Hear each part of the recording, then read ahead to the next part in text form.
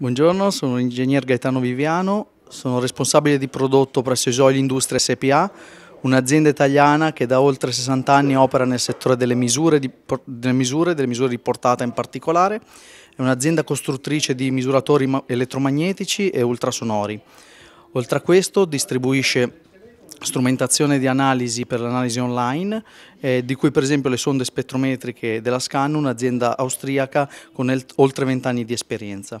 Le sonde spettrometriche si propongono come alternativa agli analizzatori online, in caso particolare delle sostanze organiche, possono essere utilizzate in diverso modo all'interno del processo industriale, possono essere utilizzate in linea o a deflusso e possono essere utilizzate per monitorare gli ingressi, gli scarichi blocchi o le linee di processo. La, la strumentazione si compone da hardware chiaramente e da software. Ehm, L'hardware appunto sono sonde, quindi eh, strumentazione semplice senza mh, materiali di consumo e quindi per questo molto economiche dal punto di vista della manutenzione.